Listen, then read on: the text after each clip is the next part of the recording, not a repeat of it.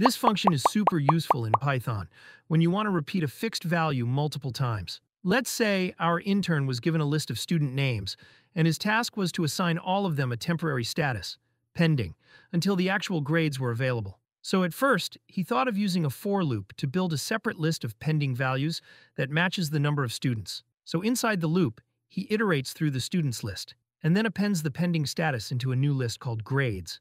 Then, he used the zip function to zip both lists together to pair each student with their grade.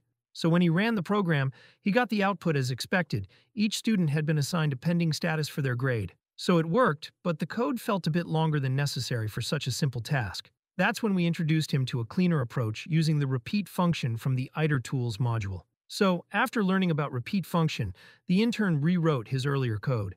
He used the zip function to pair each student name with the value pending, but instead of building a separate list manually, he used the repeat function and passed the pending status in it. Now, this repeat function will generate the value pending again and again, infinitely if needed. But since zip stops as soon as the shortest iterable is exhausted, in this case, the list of student names, only the first few pending values are used, just enough to match the number of students. So what this loop does is, it takes the first student, Alice, and pairs her with pending, then Bob with pending, and so on, until the last student. So when he again run the program, he get the same result as expected, but this version is much more concise and elegant. There's no need to manually create a list of repeated values.